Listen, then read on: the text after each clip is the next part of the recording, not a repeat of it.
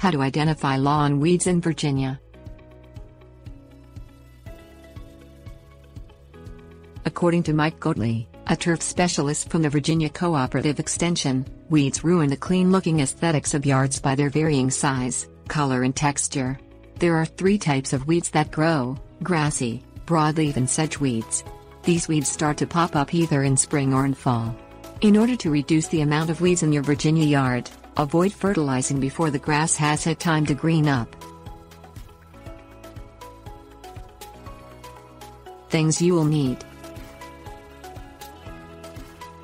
Chuck, Shovel, Soil pH test. Walk through your yard and inspect your lawn weeds. Because Virginia is within the U.S. Department of Agriculture plant hardiness zones of 5 to 8, you can find both cool and warm season grass.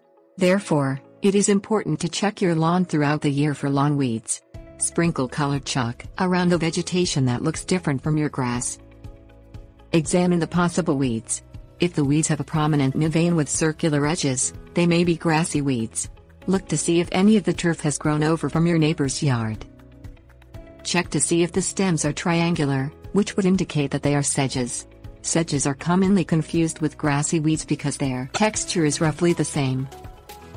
Hold the stem and look to see if there are any blossoms budding or leaves that do not run parallel to the midvein, which indicates a broadleaf weed.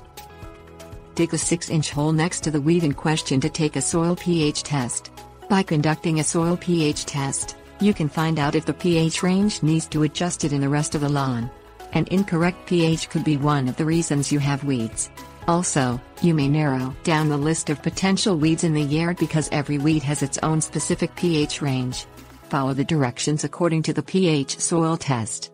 Compare the results to common weeds that grow in Virginia such as milkweed, poison ivy and itchgrass.